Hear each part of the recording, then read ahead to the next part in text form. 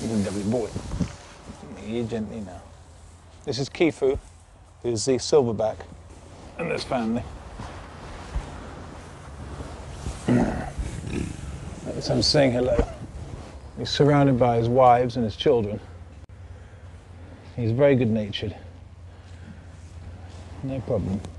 Sometimes likes to play and have a tickle. Sometimes he just wants to sit back and relax.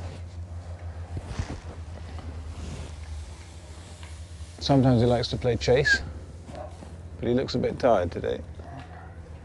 Don't you, eh? You lovely boy. Yes, you are. Yes, you are. You lovely boy. You are. No, don't my no, no, no.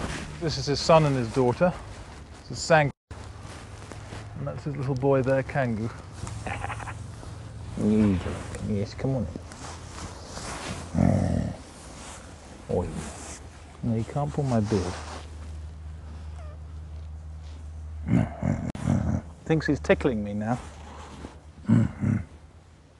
Thinks I'm a honorary gorilla, I suppose.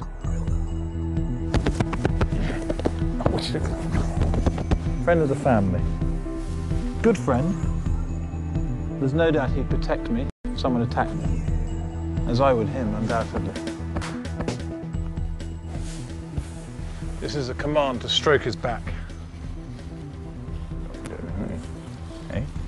Yeah, it's a gurgle there of contentment.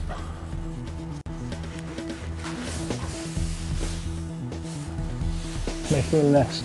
Keeps them nice and warm.